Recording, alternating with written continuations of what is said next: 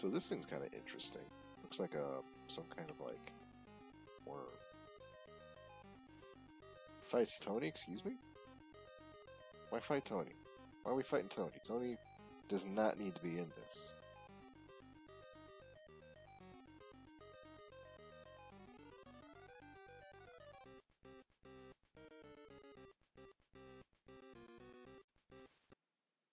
Did I skip a turn or something? That was